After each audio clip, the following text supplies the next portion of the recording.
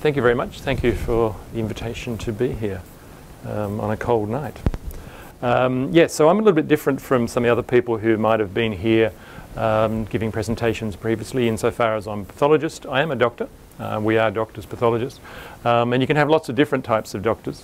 Um, and you can all represent them by various aspects of the um, Caduceus. Like the gastroenterologist, yes. Um, the pathologist is just on the end, and they, we don't get a very good rap.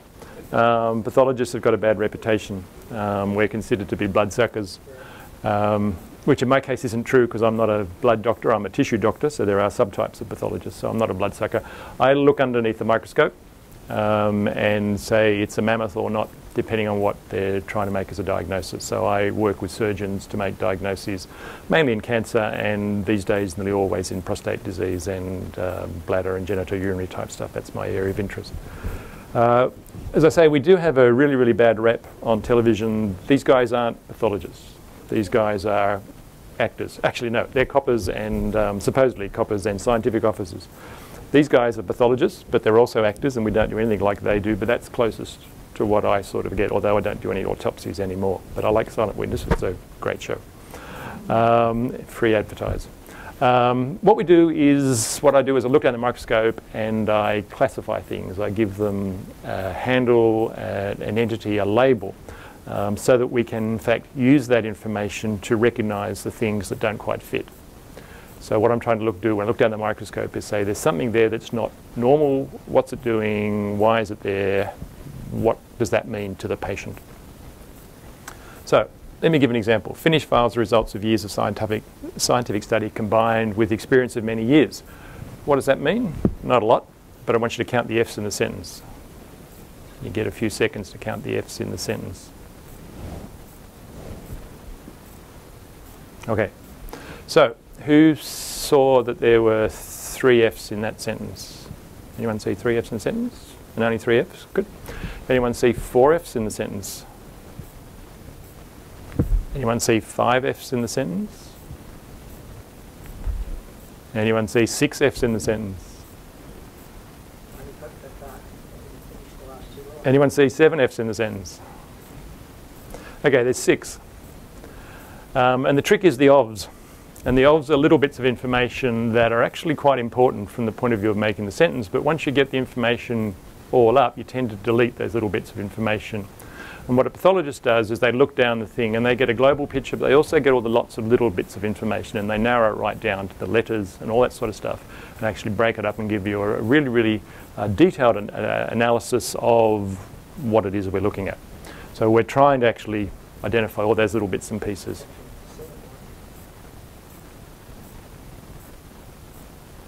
No, six. There was six last time I looked. You should have quit while you were ahead. Yep. Anyway, there's two in this one. so is it all worth the effort, uh, what I do as a pathologist? Okay, well, let me give you a big example that's really got nothing to do with what we're doing here today, but just from the point of view of what I'm, the point I'm trying to make. Um, everyone's heard about the bubonic plague, the so-called Black Death. And the Black Death hit Constantinople in 542 AD.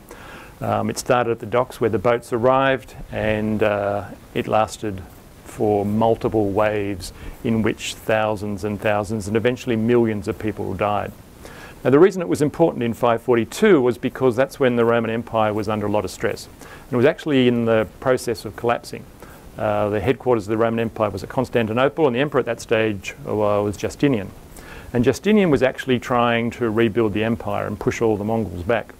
Um, and he managed to do that. So he'd got the right hand side uh, of the empire well and under control and his general Belisarius had pretty much conquered large portions of the left-hand side back again, and they were really actually doing quite a good job. And then the plague arrived, and the plague decimated the troops, decimated the population, and even um, Justinian got the plague, although he didn't die from it. And the result was that they didn't pull it off. Uh, they lost the battle, and really what happened was that we had the fall of the Roman Empire, not just because of the bubonic plague, but as one of the major things that happened. And it partly resulted in, therefore, the establishment of the European states, the rise of the Islamic Empire came on soon afterwards, and we ended up with a template for the modern world, which if it had been different, would have been a different world today. So what's the thing about pathology? Yersinia pestis is the bug that causes the bubonic plague and causes the big um, swellings as people get, uh, as the organism proliferates in them. And it has a complicated mechanism of functioning. And it basically is a bug that lives in a flea that, that lives on the rat. And then the rat runs around the people, and then the fleas jump off the rats and bite the people. But the bacteria itself, if you go right down and look at the pathobiology of the way the bacteria functions, what it does is actually it secretes around it outside of its organism structure a sort of biofilm or sort of glue. And what happens is that a whole bunch of the organisms then all stick together. And so you get this pathobiological formation of a disruptive uh, plug and it blocks the stomach of the flea. So the flea can't eat any normal food, so the flea gets really, really hungry. And so the flea starts to eat as much as it can and then bite as much as it can. So when the Yersinia pestis is filling up the stomach of the flea, the flea's furiously, furiously biting everything. And therefore you get spread of the organism as it jumps to, from rat to rat and all that sort of stuff. What's interesting, however, is that glue is only active within a certain range of temperature, uh, only between about 15 and 20 degrees. And if it gets above that temperature, the flea, the whole flea, then the glue melts and the organism's passed and you don't get the flea doing its frenzied activity of biting. And so that really only the plague really only spreads in environments where the temperature is about 15 to 25 because in otherwise it has little episodes and it breaks down and whatever. And so what actually happened was that we know that the plague started in the middle part of Africa and it used to travel down the Nile with the ships and the boats that were travelling. But of course, as to do that, it has to get through the Sudan and there's a huge desert in the middle of the Sudan, and when it gets hot, the glue would melt, the bacteria would be passed, and the, vir- and the bacteria and the plague didn't really spread down to the top end of the Nile for quite a few years, until around about 530 AD, when there was a period of global cooling, and the temperature of the Sudan dropped. And the temperature of the Sudan dropped, the boats kept coming down. The rats, the fleas, and the Yersinia pestis made it all the way down the Nile, and they made it to the um, delta of the Nile, where all the trading ships used to come from, come across from Alexandria in around about 540, where the first episodes of the plague were identified, and then in 542 it hits Constantinople. So whilst that's only a big history picture, it demonstrates that medicine and particularly pathology is about understanding how things go. And what we do is we label things, we document it, and it allows you to understand how, in, if you're going to look at history, big sweeping changes occur. But if you look at it in a more minutiae situation or an individual situation, classification of disease, understanding of disease for clinicians and patients gives you information. So if we're going to classify prostate cancer, you can actually look at the lots and lots of different types of prostate cancer. The main one is the top left-hand one, uh, that we call adenocarcinoma of the prostate, and it's the majority one. But I look at that and I can break that down into different subtypes and give that interpretation and give that classification plus a whole bunch of other bits of information. And why is that useful? Well, for clinicians and for the patients, it allows you to know what's the best type of treatment. It allows you to set the timing of the treatment and it allows you to give planning and prognosis information about the treatment.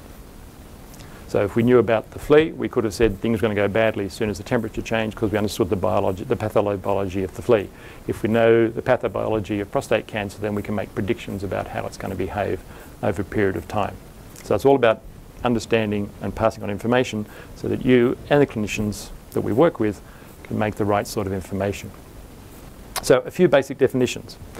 Pathology, strictly speaking, is the science of the cause and effect of disease or that branch of medicine that deals with laboratory stuff. I don't really like that particular definition, but a disorder of structure or function in a human, animal, or plant. That's the sort of the disease that the pathology is analysing. It's more than just the actual analysis of the thing, it's actually the actual whole environment in which the patient operates and in which the patient lives. So, when we're talking about disease, is it a disorder? Is it normal? And how far does it deviate from normal? And this is what I do when I look down the microscope because I'm looking for deviations from normal to give me information about behavior deviations. So cells can vary in size and colour and shape down a microscope and the tissue that the cells make up will also have different appearances and different shapes over that period of time. Now, if you've got a small variation, then there's going to be a small change in the way a gland would function. So, for example, a prostate gland, if there's only a little effect going on, then it will behave in sort of a benign sort of way. It really won't change its behavior. If you get a large variation in the cells or the actual tissue of the prostate, then you get a large variation in its behavior, and if that damage is profound, then you can end up with malignant behavior, with it turning into a cancer. So how do we do that when we look at cells? So these are a bunch of terms that are used to classify cellular appearances that we use when we look down the microscope. Hyperplasia is a good one, and you would have heard that in the context of benign prostatic hypertrophy or benign prostatic hyperplasia, which is swelling of the prostate. Now, strictly speaking, swelling of the prostate is actually a hyperplasia, where you get one cell on the left-hand side, little puppy dog, turns into multiple cells. You have an increased numbers of cells that are actually making up the gland, so the gland gets bigger. It's not actually, strictly speaking, hypertrophy whilst the gland gets bigger. Hypertrophy in pathology terms and medical terms means the actual puppy dog gets much bigger. So it turns from a Schnauzer into a German Shepherd or some sort of huge dog, but it doesn't do that. Um, so hypertrophy and hyperplasia are those size changes that we talk about where things are getting bigger, and atrophy is where it shrinks. So you start off with a normal type thing and then it shrinks back down. And part of the prostate is famous for doing that when it gets inflamed. And you talk about, you'll see reports saying there's bits of atrophy and inflammation in the prostate because uh, the glands are actually shrinking down and becoming smaller. Now, very, very occasionally, cells can change. They can change what they do and they can turn into different types of cells, and that's called metaplasia. And you see it going on particularly around lining cells in the stomach and sometimes in the bladder and things as well. So all those changes are pretty much the benign changes. They're not two variations from normal, but they make some sort of difference in the prostate or any sort of organ in which they occur. There's a couple of other ones though. Dysplasia is where you start to see disordered growth. And in disordered growth, the cells aren't behaving quite the way they used to. So instead of being a nice little fluffy dog, they turn into one with a big jaw that turns around and can potentially get a little bit nasty. Dysplasia in medical terms is actually a pre-malignant condition. It's the cells haven't become malignant yet, but they may in fact evolve over a period of time.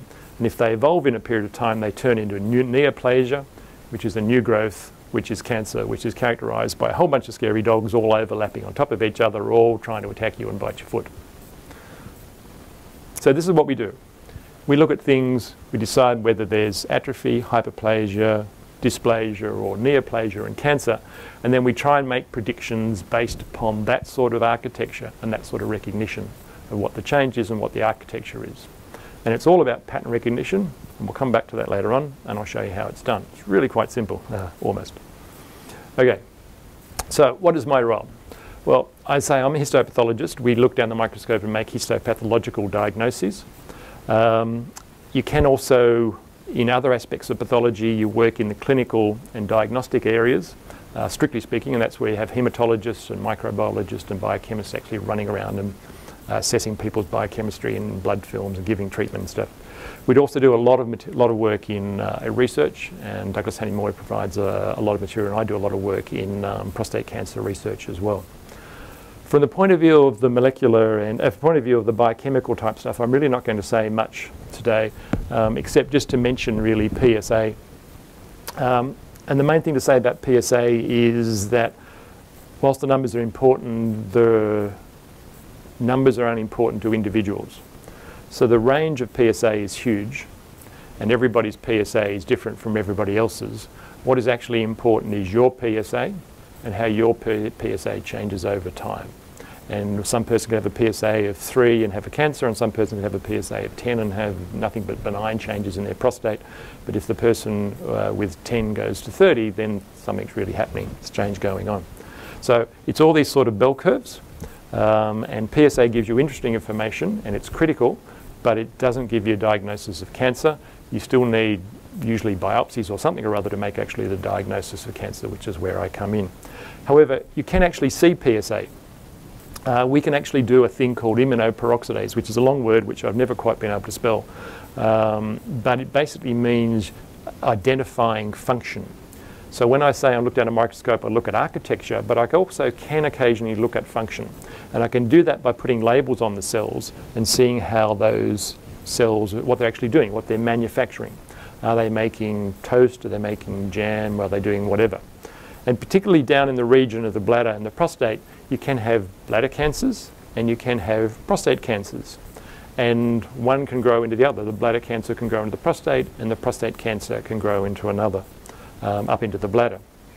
So, for example, this particular um, this particular piece of tissue here has two areas of cancer. There's sort of a purpley smudge area here and another purpley smudge area here. So that piece of tissue has cancer infiltrating into it, growing into it. But if you do special markers on the thing, you can see that only the right-hand side has got PSA in it, and the left-hand side doesn't have PSA. So this is prostate cancer, and this is bladder cancer. There are other, other clues, but this actually shows you why PSA does matter. Um, it's actually manufactured by the cancer cells, and then if cancer was to spread and PSA starts to rise again, then you can say that there's tumour cells, they're manufacturing, and we can see within the tumour cells there's prostate cancer, there's PSA going on. So it does, does relate to me, what I do in histopathology as well. Okay, so that's me, the prostate. Well, we all know where the prostate is. It's in blokes. And there's a few people in the room who don't have one. Um, mainly of the female type, they weren't born with them. Um, but guys have them all, and they're tucked away down the bottom of the bladder as a little inverted pyramid. And crazily enough, the top half is called the base, and the bottom half is called the apex because it's an inverted pyramid. And it sits at the base of the bladder, and then the pointy bit comes down as you go down towards the bottom. Um, so that often could confuses people when we're talking about uh, actually um, uh, trying to identify the proximal portion of the prostate, in other words, the bit closest to the bladder, or the distal portion a bit further down the urethra. It's also got a whole bunch of different zones, and those zones are important because they relate to different aspects of cancer, uh, and different diseases occur in different parts of the prostate. So, for example, there's a, just look at this diagram on the bottom right-hand side here. Here, if there's benign hyperplasia, which is as you get older, the prostate gets bigger and bigger and blocks the urine. That usually occurs in the central or transitional zone, which is around about here, and the urethra is going down the middle, so that's why it compresses the urethra and stops the urine from getting out. Cancer, a large proportion of the cancer, about 75% of the cancers, 80% of the cancers occur in this back end of it here, the peripheral zone. The trick, however, is that the peripheral zone comes right around the front. In some patients, it comes all the way around things. So you don't actually talk about posterior and anterior cancer in relation to the zones because they can both be anterior and posterior depending on the shape of the prostate. So this is actually a slice through a prostate, stained to look at underneath the microscope. It's a complete slice. This would be the front end of it here. This would be the posterior aspect of it here, and that would be the patient's right, and that would be the patient's left. And this is the sort of normal appearance of prostate. It's got this sponge-like look, uh, fluffy glands, in sitting in uh, fibromuscular tissue. It's quite a hard gland. And notice how this area here is different from this area here. This area is all pink, and this area is still got the foamy, bubbly look appearance. So this is actually where a cancer is in that region, in the posterior or the peripheral zone of the cancer. This is the urethra in here running down the middle where the urine's coming down. So the cancers actually present actually often at the back end of the gland and that's just the bit that's uh, the prostate that's just in front of the rectum. Hence, they do a lot of needle biopsies through the rectum to get to the cancer because most of the cancers are at the back. Not all of them, and so we need to have to have ways to get access to the front half of the cancer. And I'm sure one day a surgeon will come and talk to you about how they do multiple different biopsies, and I spend all my time looking at them down the microscope. And that's where I sit. Uh, it's my old office. I sit down there in my chair um, and look down the microscope and I have a couple of important things, and I don't know if you can see it very carefully. No, it's just off the screen. Um, there's a computer, a telephone, and there's a coffee cup. Uh, the coffee cup's uh, there. It is. The coffee cup's really important. Uh, let me tell you. Um, and we look down the microscope, and we look at all these little glass slides, and they actually have sections of the bits of tissue. There's a whole laboratory at Douglas Hanly Moir whose job it is to take a piece of tissue that a surgeon sends us and turns it into a tiny little slither of tissue stained in a certain way so that I can look at it down the microscope.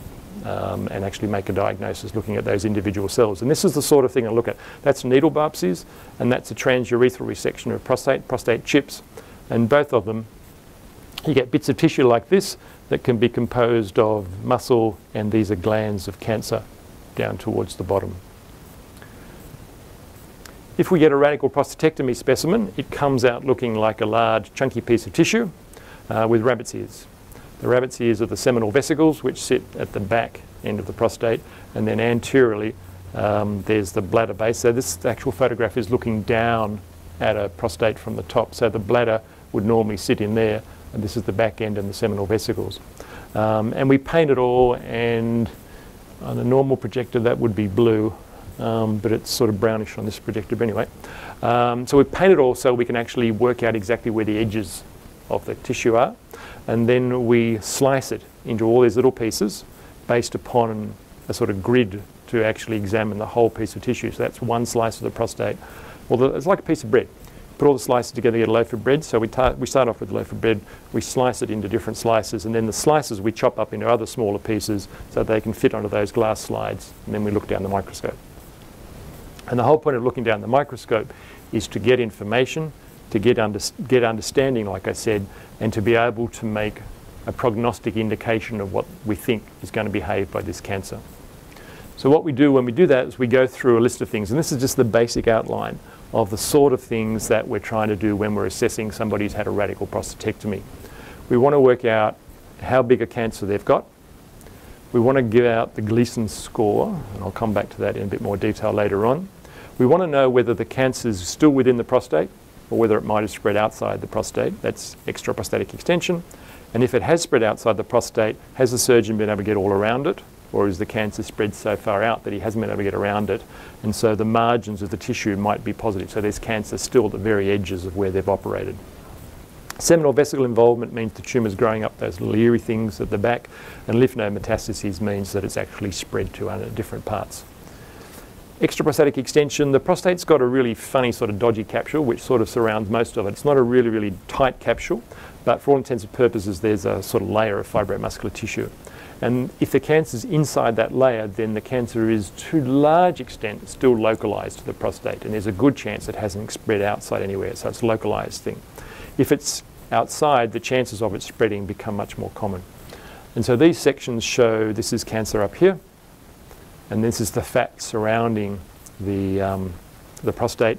And the cancer's coming down here and it's growing along in the fat out here. So the edge of the prostate was about here and now it's out in fat. So this is now cancer that's no longer localized to the prostate but has extended outside. And one of the ways it does likes to do it is it comes down and then it follows little cracks in the tissue. And the most common cracks in the tissue between the muscle bundles are where the nerves run and where the blood vessels run. So the cancer tends to grow along beside the nerves, and you'll hear in reports that there was cancer present in the biopsies, and there may or may not have been perineural infiltration, in other words, cancer growing down around nerves. They're all little bits about the architecture that allow us to make a punt about whether we think this tumour is going to behave in a good or bad fashion. So what does that mean? These are old figures, um, and they're figures derived from before we used to do lots and lots of aggressive therapy, but they give you an idea of what it goes on about. So that if you've got organ confined disease, your five year survival at, uh, is 97%.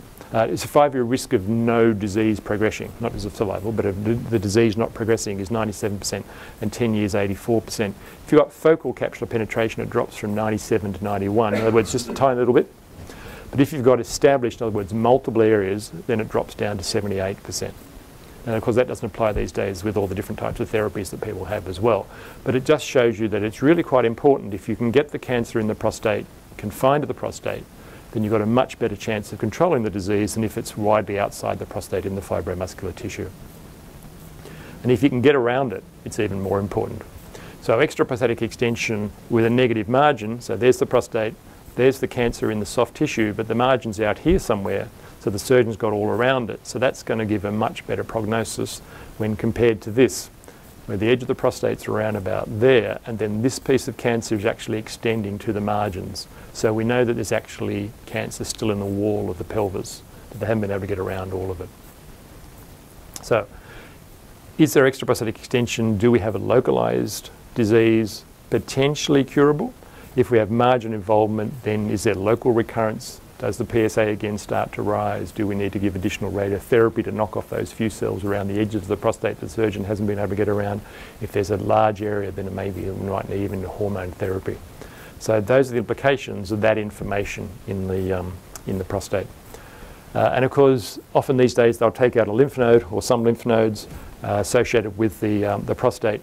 And lymph nodes on the sections that we look at tend to be sort of uniform and blue and pinky, but there's a little bit up here that looks a bit different.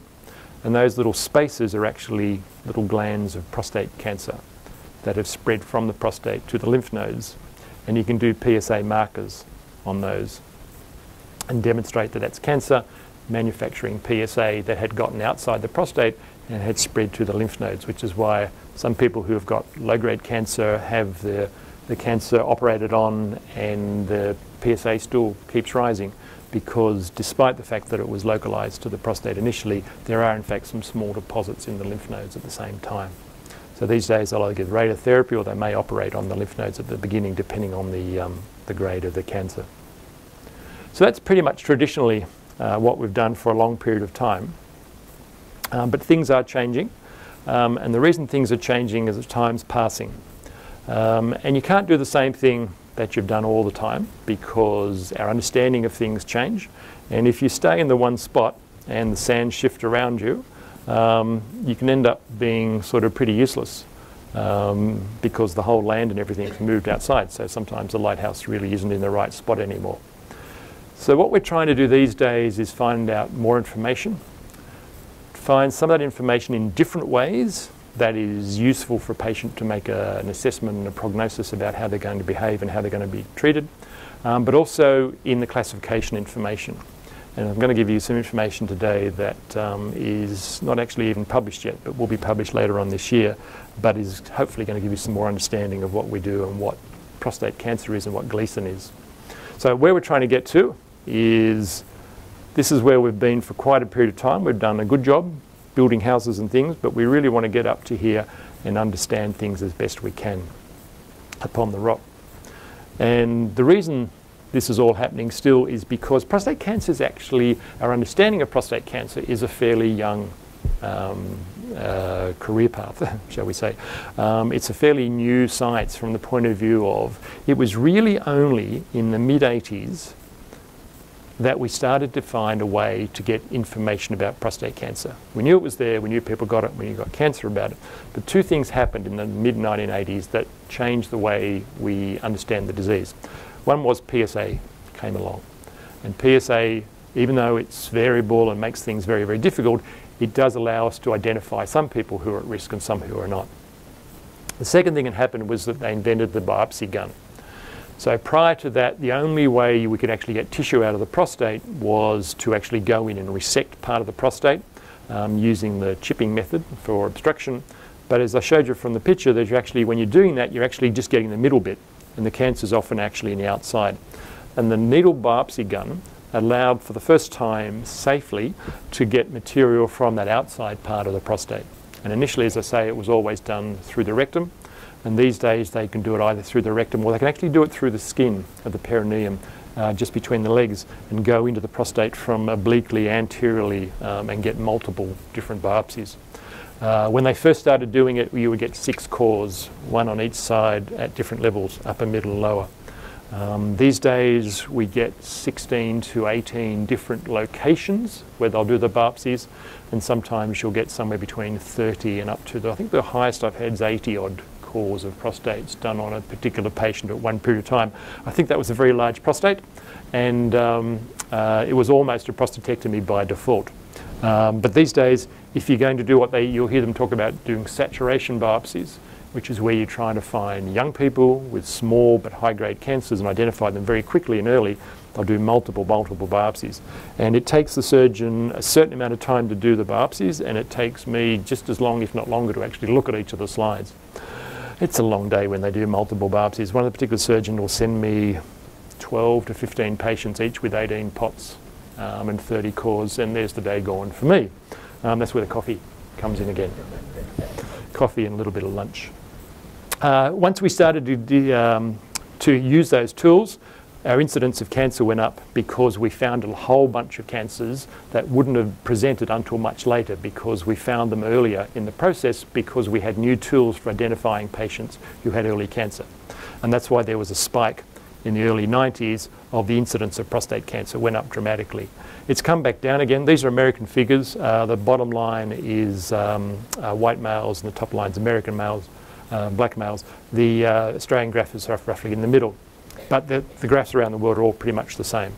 Uh, that we've brought it back down, we found those original patients, and now we're looking towards getting back to where the long-term trend line would be, but we're trying to find cancer at an earlier age where it's more treatable and therefore not just get the incident rate to drop, but the death rate from cancer to drop. So that's the plan. Okay.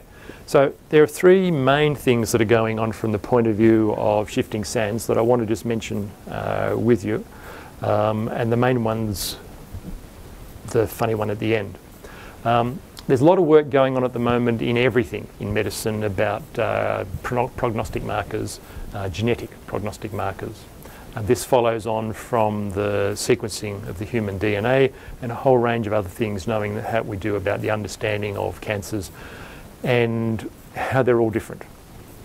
The second thing that's happened fairly recently, uh, and this is still evolving very rapidly, is magnetic resonance imaging, which is a great way of looking inside the body without actually using x-rays. It uses uh, vibrations in water molecules and magnetic resonance to actually make images.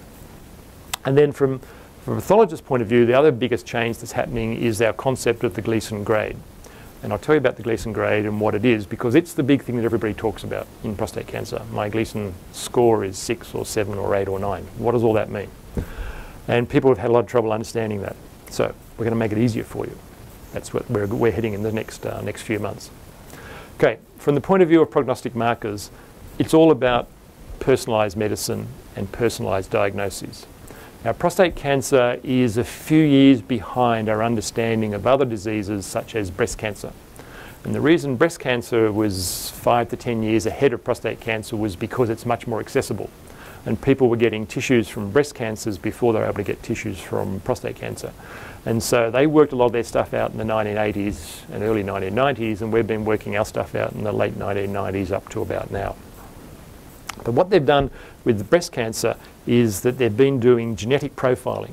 And off the screen, on the left-hand side, is a huge list of different types of genes that everybody has. And each one of those lines, these things here, all these little lines of different colours, uh, represent a different gene that's mapped to a different patient. And so some people have light colours, some people have dark colours, and it means whether the gene's expressed or the gene's not expressed. And you can actually map a lot of breast cancers out into those different categories based upon the genes that are present in them. So uh, a piece of cancer will be taken from a breast and it'll be sent off for normal pathology, but you can also do genetic profiling on it. Now there are several different tests around, the MammaPrint, the Prosigna and the Oncotype, and these have been around for a while and they give different information to what a pathologist does.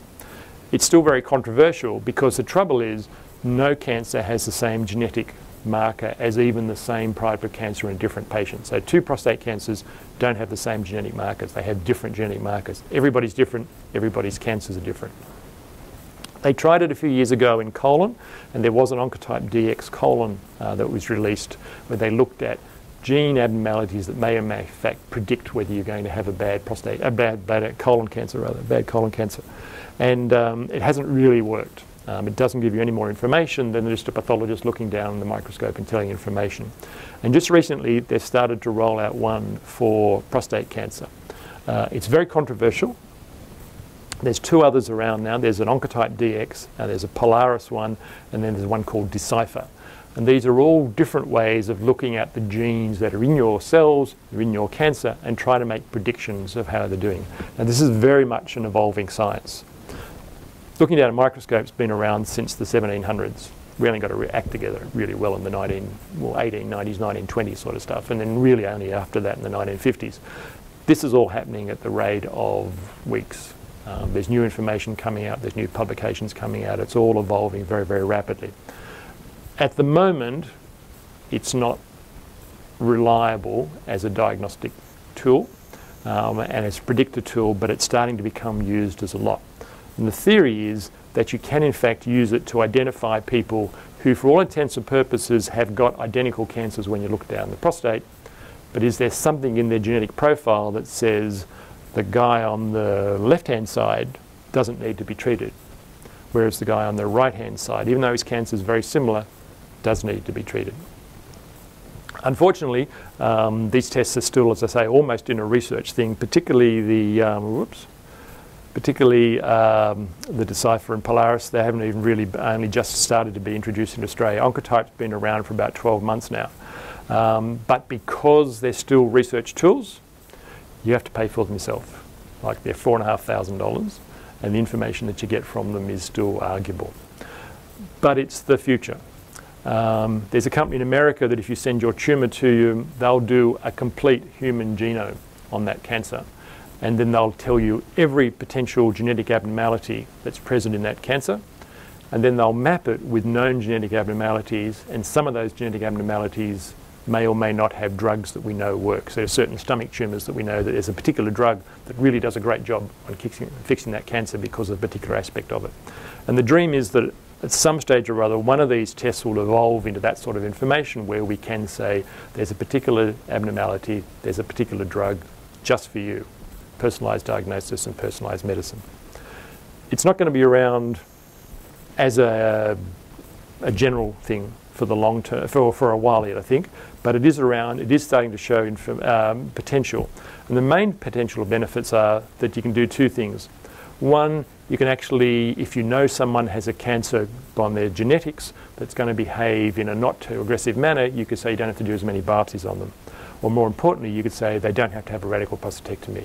You can afford to watch. And that's where a lot of the push in healthcare of prostate disease at the moment is trying to separate the people who have got really, really bad cancers and need unequivocally to be treated as opposed to those people who have got cancers that are really not that aggressive and patients can live with those cancers and die from something else entirely, run over by a bus, anything. Because we know that the prostate cancer will just sit there for 30, 40 years without doing things. The holy grail at the moment is to try to make that distinction. One of the ways we make that distinction is in grade or Gleason grade, and I'll come back to that. Okay, so we've got the molecular thing. The other thing that we've got is magnetic resonance, resonance imaging. The average prostate looks like that on an MRI. That's the prostate. And this is the rectum. This is all the surrounding bits of tissue out here. And we talked about the different zones. That's the central or transitional zone, and this is the posterior peripheral zone, this slightly paler area out there. Now it looks very variegated in everybody. There's little brown areas, there's dark areas, there's light areas. But what they're trying to do with their MRI is to identify a discrete area of change. Now there's, they call it multi-parametric because they actually do four different types of scans looking at images, looking at blood flows and all that sort of stuff to give the overall impression. But basically what you're trying to do is compare that sort of patient there where it's all sort of pretty much the same to somebody like this where it's all pretty much the same along here and then you've got a hole, you've got a difference, you've got an abnormality. And if you can recognize that patient, then you can say, hey, there's a cancer there. Now, the SAN particularly is way ahead of the curve on this sort of thing at the moment. Uh, the radiologists here, who I know quite a few of them, because I actually come here every fortnight uh, to a meeting where we sit around and discuss patients for a couple of hours. Um, they show the MRIs and I show the biopsies, and the clinicians decide what to do with the patients. Um, the SAN's actually one of the leaders in their MRI. They're really, really good. They've got great machines, and more importantly, they've got great people. Um, so it's actually a very, very strong positive thing here for the SAN. What they're trying to do is like I said, separate the people into the different groups. They're trying to detect the significant cancers and not detect the insignificant cancers. They don't care if they don't detect the insignificant cancers. And we know that actually MRI is rubbish at detecting some types of prostate cancer. It doesn't detect the low grades and the Gleasons 3 plus 3 equals 6, which we'll come to a sec, or some of even 3 plus 4s. It's really, really good at detecting the intermediate to high grades, the 4s and the 5s. So 4 plus 4 equals 8 and the 4 plus 5 equals 9. If you can detect those high grade cancers and you can't detect the low grade cancers, which doesn't matter, then great. You can say a patient's got cancer, they've got low grade cancer, which we've confirmed on biopsies, but they don't have any high grade abnormalities on their MRI. And as long as their MRI doesn't change, we know they haven't developed any high-grade cancers. So the potential benefit, hopefully, for this is that, first of all, if there is an abnormality on the MRI, you'll be able to target that. Maybe instead of doing 80 biopsies, you could do two. Go straight into that area. We know that's probably going to be the highest area. You get less side effects, less chances of infection from the biopsies. More importantly, you can actually go longer between the biopsies. So say you need a biopsy every two years at the moment, or you could go five years or even longer if the MRI uh, doesn't change over a period of time, and therefore you have less side effects from multiple, multiple biopsies. If you do need a surgical excision later on, if you've had lots and lots of biopsies over a long period of time, you, it is possible to get inflammation around the outside of the prostate. So we're trying to hopefully separate the patients. Now at the moment, the MRI, because it works in conjunction with the histopathologist, I'm biased, but the MRI is giving better information allowing us to sort people into good and bad groups. It's not perfect, and it does miss, there's a particular pattern of one high-grade cancer that it's very bad at identifying, and they miss that one all the time, and the pathologist needs to identify that. So it's not a magic answer yet, but it is part of the way that we're looking now at getting tissue to the microscope and be able to make information, and it is going to be a game changer, I think, over a period of time. Okay, now the third big thing is Gleason grading. I'm going to spend the, rest of the time that we've got on Gleason grading from different aspects of it so that you understand what I'm talking about and more importantly you'll go away being able to Gleason grade people's biopsies. Yes you will, you'll be cool. You're going to get a little prize and everything. Okay, so what is grading? We talked before about variation from normal. Okay, so that if you vary from normal then the bigger the variation the more abnormal the cells are. And basically when you're doing a grading, and it's just the word that pathologists use, when you're doing a grading, you're trying to put some sort of number on that variation. And if the variation is small, then it's only a small variation, then it's a low grade change. And if it's an intermediate or a big change, then it's a high grade change. And high grade changes are bad because we talked about the variation before, and low grade changes are not as bad. So I'm looking at appearance down the microscope and making a prediction of behavior. Now the good thing about Gleason grading is it's been around for about 30 years now and it's well established and it's actually quite a simple system because it uses architecture and it uses pattern recognition. So you can actually make the diagnosis without actually having to go into really, really detailed on the microscope. You look at it, you draw lines around patterns. So what do I mean when I say we're going to do pattern recognition? It means I'm looking down the microscope at shapes and colours and I'm going to assess the things. Okay, so the next things I'm going to show you are all bits of prostate in some form or other. But see if you can recognize patterns that are a bit different.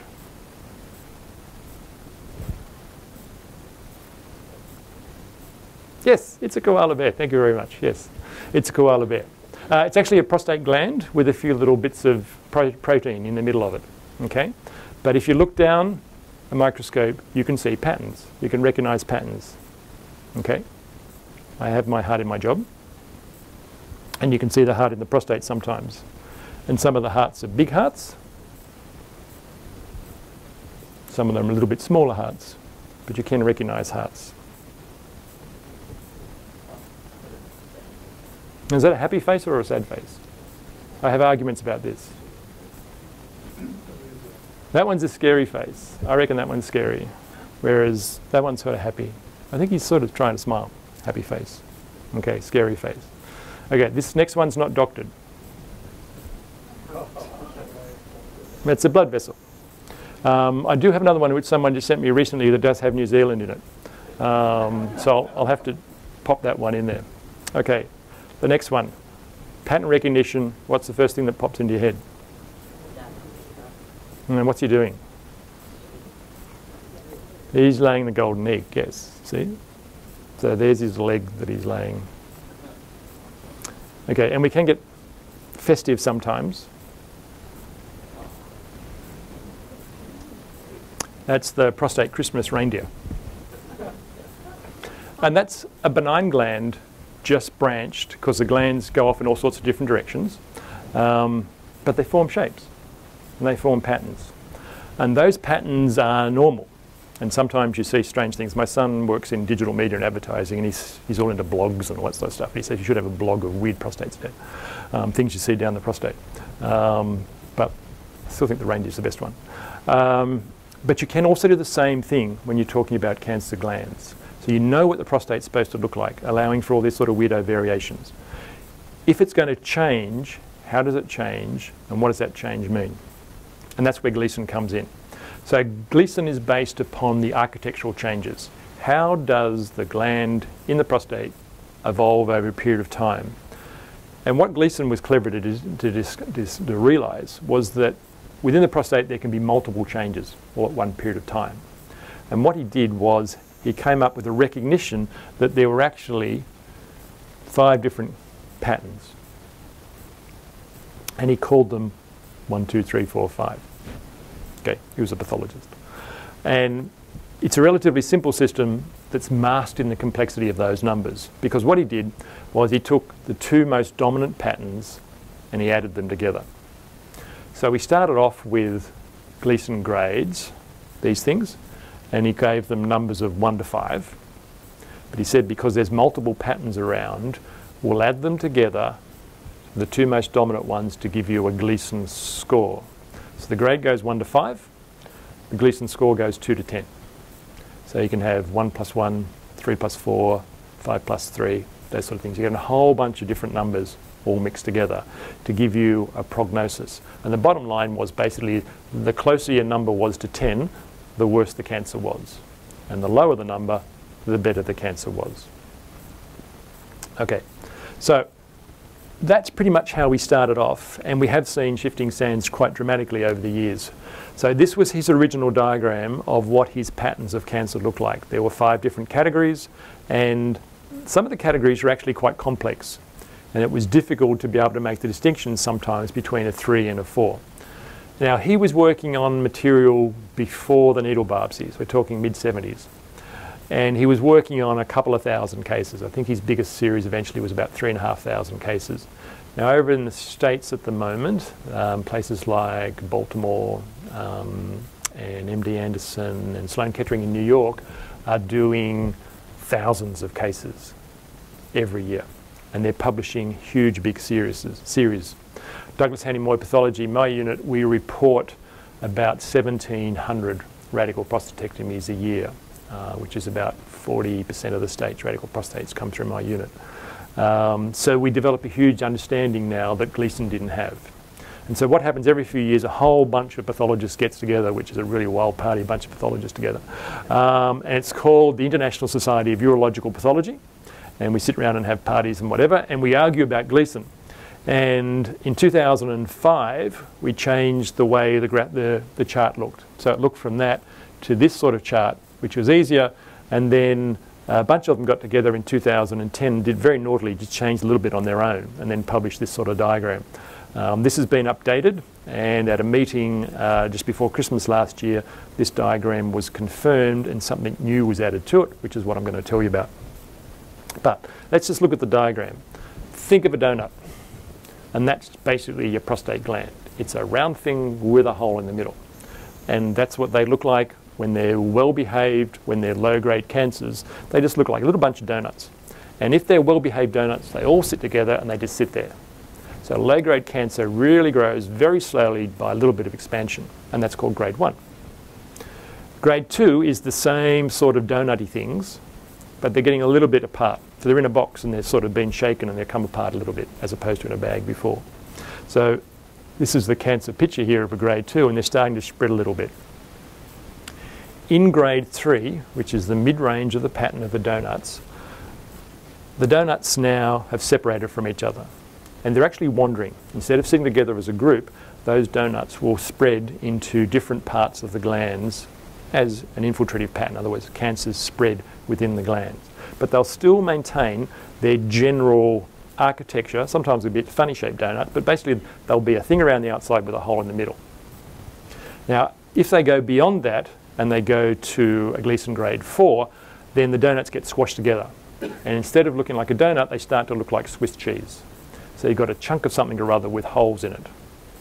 And that means that the glands are not actually making the normal structures that they used to. They're getting confused. The architecture is starting to break down.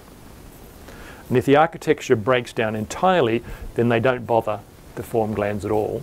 And you just get solid masses of cells. And all those cells are doing is growing and destroying surrounding tissue. And that's when you get a high grade cancer because it's stopped doing anything else. And paradoxically, your PSA can be really low because the cells aren't making PSA anymore. They're basically just switched on. All they want to do is grow, grow and destroy.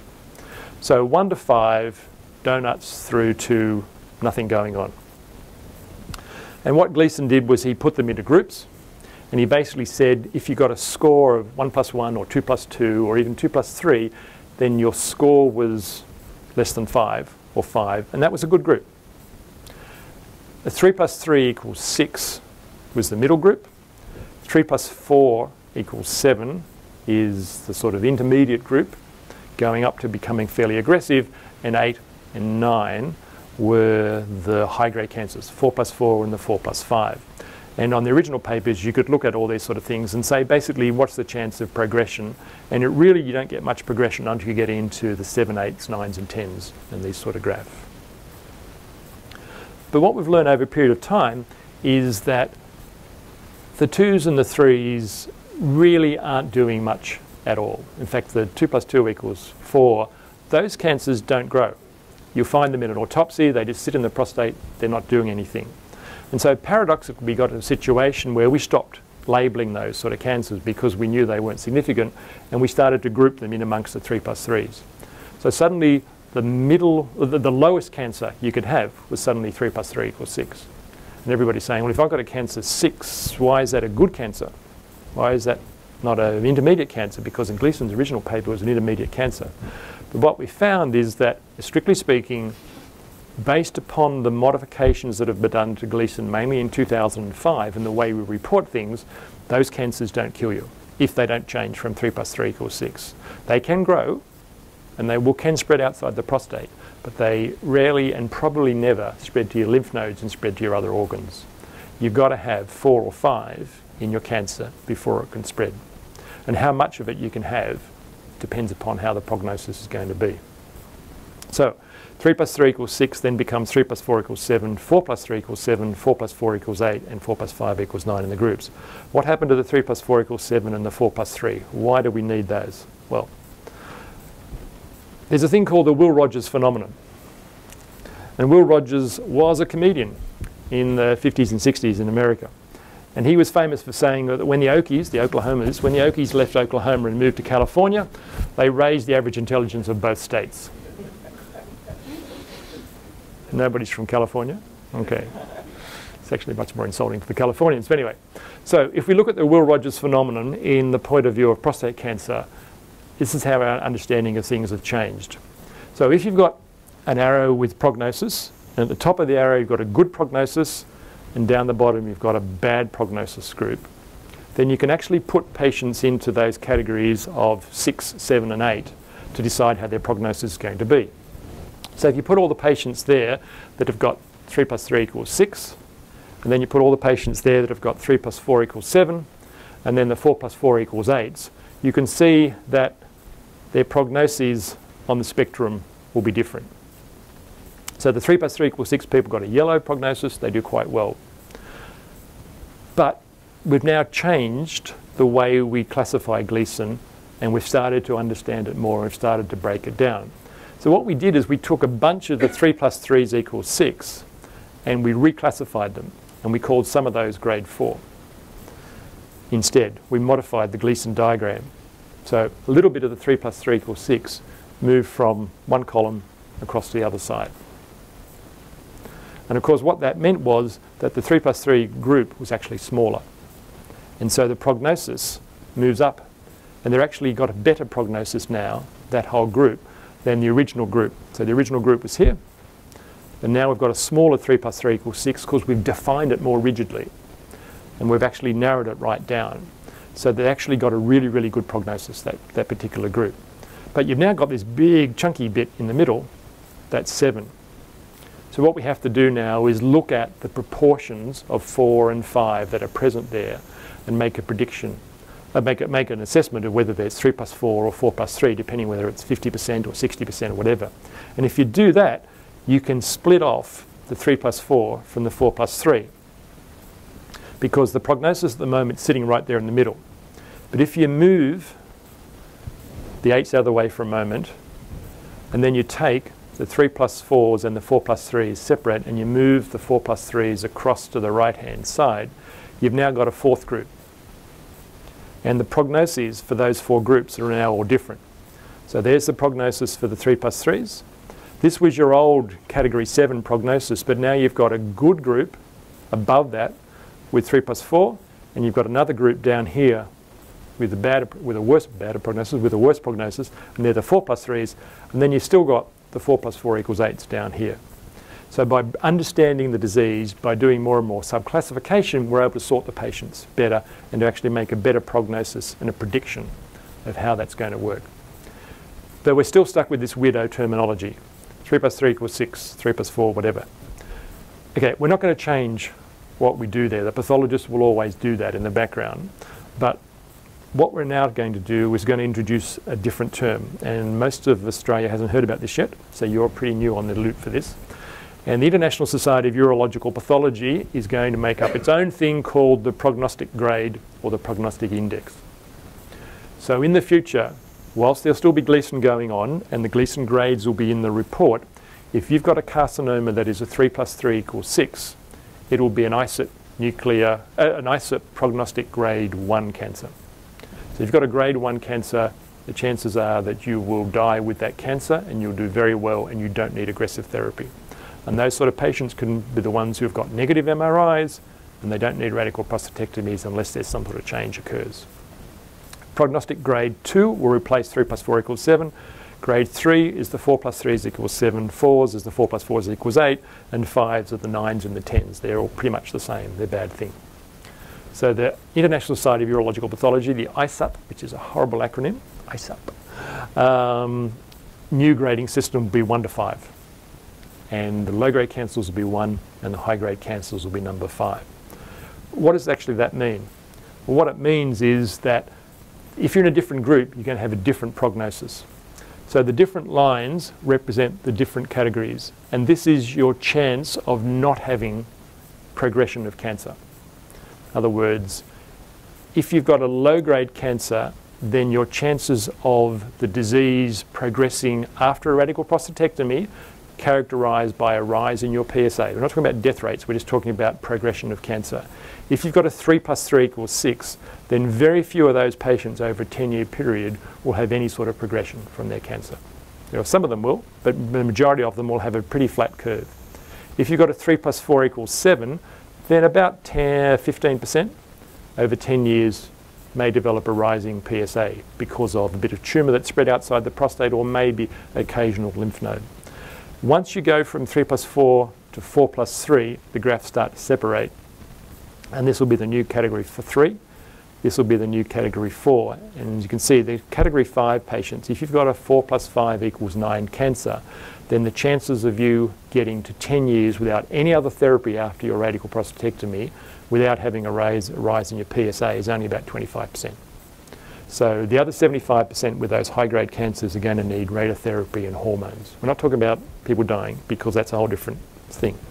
Um, but we're talking about whether the, what the biology of the disease is and whether the disease might progress. So I think it's going to be a newer system. I hope it's not too confusing, um, but it actually will, I think, clarify the situation and you can understand the progression better than all those silly sort of numbers. Okay, so in the last couple of minutes, because we're just about running out of time and I apologise for spending so much time talking, um, I'm going to show you a bunch of cases and this is where you're going to be quizzed. Okay, so you're going to call out the numbers and you can either give the Gleason score or you can give the ISUP number. I don't mind if you're really cool, you can give the ISUP number. So let's start with one of them. These are all prostate cancers and most of them will have a variation on the slide. So remember the donuts? Nice little round donuts is good. Donuts squashed together in cheese is not so good, and no donuts at all is really, really bad. Now this one, you can see that there are donuts sort of down here, and over here there aren't any donuts. So this one represents grade 3 and grade 4 giving you 3 plus 4 equals 7, which is the new ISUP grade 2, which is a significant cancer and needs to be treated. Okay? Got all that? First one's easy. Okay, this one. There's the cancer in the middle. And it's characterized by all these little donuts. Oh, one thing I forgot to tell you.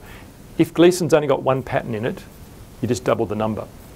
So there's only grade 3. They used to call it 3 plus 3 equals 6, which is what 3 plus 3 equals 6 was. If you only had grade 4, it was 4 plus 4 equals 8. So if you look down the microscope and you only see one pattern, you give that a grade, and then you just double it. So there's only one grade here. There's only one pattern. Anybody want to have a punt? They're a bit squashy donuts, but they're basically donuts. So that's 3 plus 3 equals 6. And that's the one you want to have. That's the good cancer. Now that's the grade 1, the new grading. Okay. Up here, we've got some squashed together donuts. And then we've got some little dotty cells here and the same sort of thing here. Not a lot of donuts at all going on. So that's going to be 4 and 5 and that's going to be an ISUP grade 5. That's what the bad cancer looks like. It's not forming any donuts at all. It's just all squashed, mucky things. Okay.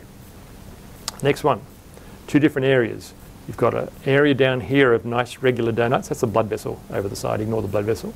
And then you've got a bigger area up here. Down here we've got round things like donuts with holes in the middle. Up here we haven't got. And don't forget, when you're looking at Gleason, you're looking at the proportions. So this one's bigger and this one's smaller. So that would be your first number and that would be your second number. So 4 plus 3. Okay, that's the grade 3 down there and that's the grade 4. So that's 4 plus 3, that's the new category we've split off. So that's going to be ISUP category 3. It's almost this easy. No, it's not really. Otherwise, I'd be out of a job. But it's, it's not, you know, it's pattern recognition. It's pretty good, like reindeers. Now, this one's a tricky one because this is the one that we've gotten rid of. So here, I've showed you this photograph. This is actually a localized area of good donuts. You can see the donuts, and they're all just sitting together in a nice, neat category. And this is what we used to call 2 plus 2 equals 4. And that's now all grouped together basically in 3 plus 3 equals 6. So everything 6 and below is now clustered together. And so that's ISUP category 1. So that's a really, really good type thing to have. Okay, just a few more to go. Not many donuts there.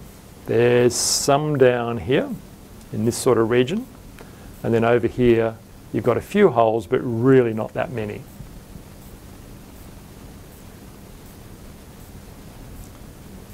That one's actually controversial because the way it's actually orientated, you could, could say it's 4 plus 3 instead of 3 plus 4 and make it an ISUP category, um, uh, category 3. And that was, this is actually, this particular one's from, uh, from the ISUP um, publication of 2005 and I disagree with it. Uh, and strictly speaking, I'd call that 4 plus 3 rather than 3 plus 4. So here we're changing everything today. Okay, a couple more. Big, solid chunks, no donuts at all, just solid bits of cells with holes in them, but there's really no donuts going on. But that pattern is pretty much the same as that pattern, just solid squashed together type cheese, which makes it a 4 plus 4 equals 8, which is an ISUP category 4. Okay, three more. That's very similar to the last one I showed you. This one down here is just little dots, individual cells. So that's bad and that's really bad. So what were the really bad numbers? They were 4 and 5. So that's grade 4, that's grade 5, 4 plus 5 equals 9, and there's a new ISUP category 5. So that's bad cancer. If you've got ISUP 5, you're going to need some aggressive therapy fairly soon, please. Lots of little round dots, uh, lots of little round donuts. These are all donuts. There's only one pattern here. That's the hint. Yep. So it's 3 plus 3 equals 6. The old 2s, the old 3s, all grouped together, ISUP grade 1. Okay, the last one. The last one's a bit tricky because I, I, said there's lots of other different patterns in amongst Gleason that you need to recognise. Um, we've got these large, big, chunky bits of cheese, of um, cheese type pattern with holes in the middle of it. And then in amongst all this stuff, there is little dots, little tumour cells all the way around there. There's more cancer down there. So that's 4 plus 5 equals 9, ISUP category 5. Okay. So I hope that wasn't too painful for you. Um, pathology is difficult. It's an unusual thing. Um, it's sort of outside the range of what most people think about as, um, as medicine, but it's, it's good. Um, change is good. We're learning more. Um, we're giving you more information now, and we're giving you more information that you can use to make decisions and to understand and therefore plan in the future. Because hopefully that's where we're all going to end up in an uplifting sort of way. So I thank you very much for your attention. Do we have any questions, please? I have one. If, if you have a 3 plus 3 under the old system, Yes. so you could be a really uh, 3 plus 4 now. Yes. Yeah. Um, based upon the changes in 2005, um, some of the features in Gleason's original diagram have been moved, as I said, from the 3 plus 3 equals 6 column into the 3 plus 4 equals 7.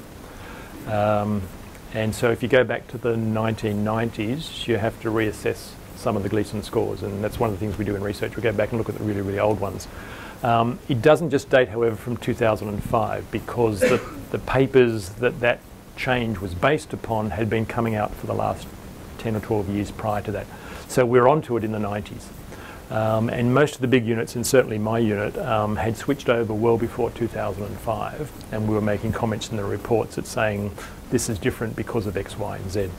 Uh, but certainly for the last uh, 10 uh, to 15 years, there's really no need to change it. But yes, there has been a, a prognostic shift, and the people with 3 plus 3 equals 6 now are in a very good category, whereas before they were a mixed group. Are the, are the results on the slides kept for any time? Like um, I know in the San, when they had it, they had an older building down here that they had stores and stores and stores of slides. Yeah. The government requires us to keep them for seven to eight years, unequivocally. Um, Douglas Hanly Moir, we retain things for about 10 or 12 years. Uh, beyond that, then all we've got is electronic reports. We can't go back and look at the slides. Uh, the paraffin block tends to go off a bit. Um, and as you can imagine, the number of slides these days, uh, warehouses are very, very full. And they need to be on the ground floor because that much glass is really, really heavy. Um, so yeah, we have a very large warehouse out the back of where our main lab is, um, where we store all this sort of stuff. We've got two warehouses. Um, but we can keep everything for 10 to 12 years. And the reason that's important is these days we're going back and doing molecular analysis on a lot of breast cancers and melanomas and gastric cancers to doing tests that we couldn't do at the time to give us more information. Um, so we always try and hold everything unequivocally for at least a decade. Yeah. Mm, Thank you. A- after the uh, radical prostatectomy, um, and and there is a continuation because the Gleason the still carries on the PSA. PSA a little bit. There's nothing that you can do from the histopathological side to tell where it is or how it is or anything like that, is there?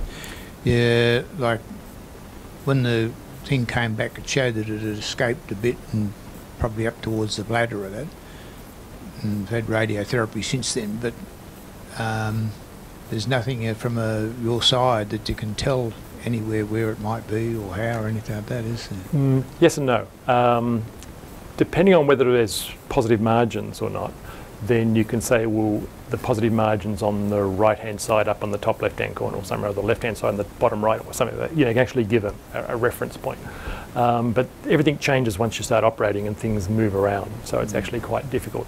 Um, there's a couple of other things that I didn't mention in the talk that are also other aspects of um, shifting sands that are actually not my um, area, that I didn't want to go on too much about them. One of them is a thing called a PSMA scan. Um, and these are nuclear medicine scans. And nuclear medicine is a different way of um, identifying things. And just as I was able to document PSA being manufactured in cells, um, PSMA's only really come on board in the last 12 months. Um, and there's now um, the main unit doing this at the moment is St Vincent's. Um, they're doing a big research trial to work out how good it is. But basically, you can do a nuclear medicine scan, and they're down to three or four millimetres that they can document where there's cancer. That's probably PSA relating type cancer. Um, and if you can do that, then they can target it very, very, very accurately with the radiation therapy. Um, so that is also coming. Um, and I think the research they're doing, they've been doing comparing several different different types of markers as well as the PSMA, and it's showing good thing. There's a few that it does miss, um, and again, it's like MRIs that not all prostate cancers are the same, and so the markers aren't exactly the same. But that's the best way we've got these days. The best thing that they do after that is they then go in and they do a biopsy of that area to confirm that it's prostate cancer because you can get different cancers and can get new cancers in addition to prostate cancer. Um, particularly um, people of the mature age um, can sometimes get other different cancers, and so you want to make sure you're treating the same sort of cancer. So, fortunately for me, there's always going to be a need for someone to actually look down the microscope at the biopsy. So, I'm not going to be without of a job for the time being, anyway. Thank you. Yep. Do you know what proportion of um, biopsies now are done perineally? Um, yeah, quite a lot, but it depends upon the clinical situation. Um, the transrectal ones are easier to do, um, and they, but they have an incidence of infection uh, and those sort of things that need to be done, but they can be done very, very quickly and easily. Um, the transperineal ones sample different parts of the prostate, but if you do it right, they can actually map out the whole prostate. So at the moment, what they're tending to do is do transrectals for the simple cases to work up patients, and if they need to do some serial mapping, whatever, then they'll do transperineals. There's a few units that do nothing but transperineals now. Uh, and I suspect within a few years, uh, at the moment, it, uh, I'm making up a figure, but at the moment it's probably 25% maybe. And I suspect it'll switch around the other direction uh, in a few more years. Yeah, my reason for asking is that I had two biopsies done. The second one just about killed me, and I got very sick after the first one. Uh, and the uh, the reason for the second illness was to do with a, uh, a type of uh, E. coli, Mm. uh, and I needed uh, what's it called uh, carbapenem, in fact, to kill it off. Uh, I wonder, is there a case for, um, and this may not be utterly your specialty, but certainly the uh, the part of the process would be uh, pathological, and that is, uh, is there a case for sampling um, the gut contents before, just to see what bacteria are present, uh, or at least the uh, uh, you know, some some part of the bowel anyway, to see what bacteria are present before someone even attempts or even thinks about uh, the uh, the anal approach. The trouble is the rectum's full of all sorts of strange things. Um, and you can only take one or two organisms, and you may not get it on a culture. Um, most of the times they'll do antibiotic cover um, these days, and they'll usually prep a patient fairly carefully, similar to what a gastroenterologist will prep somebody. The alternate part of the spectrum is that nothing is safe in medicine once you start sticking needles into somebody. And you also get some really weird things. We've got a transperineal biopsy on our files. Um, and it was an elderly patient who'd been living at his home for quite a while, and perhaps cleanliness wasn't his most spot on type thing. But on the end of the needle biopsy of the prostate, which they did transperineally, you can see that there's a leg and half a body of a little mite that was on the skin. He had sort of scaby type things that were running around on his skin.